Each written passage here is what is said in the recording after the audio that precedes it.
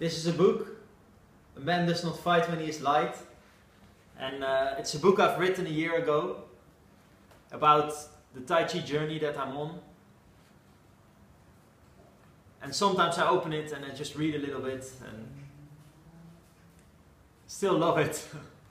so I'm gonna read uh, a little bit for you and I hope you enjoy.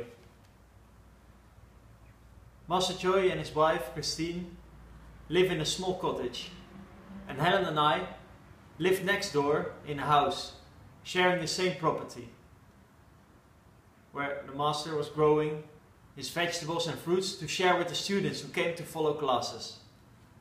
If there were no classes, Helen and I were doing gardening together with Master Choy as he loves gardening and connects all his wise lessons to examples that are happening in the garden in the moment. We learned there's no separation between the inner and the outer. We learned to see ourselves as gardeners, gardening every day, in the inner garden, to grow inner fruits to share with the world. As Master Choi calls it, soul gardening, and trained us to live a Tai Chi lifestyle that is 360 degrees. This means in all aspects of life. The way I'm watering the plants, the way I walk, cook, speak, listen. It's all not separated from the Tai Chi practice. We lived in the school to learn there's no separation between practicing and living our daily life.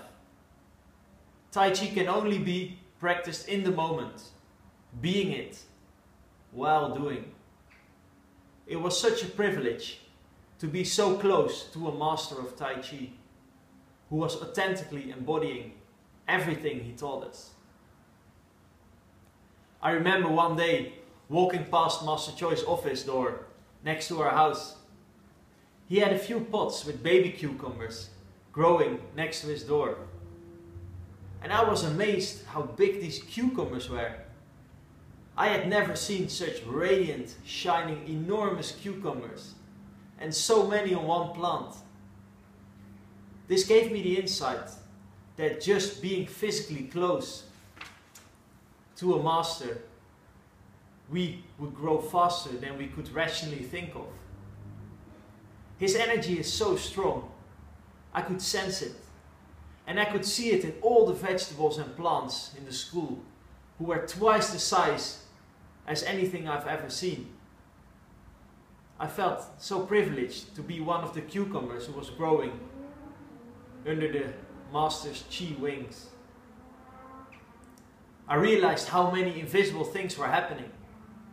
My consciousness was simply not ready to understand, but I just felt it was true.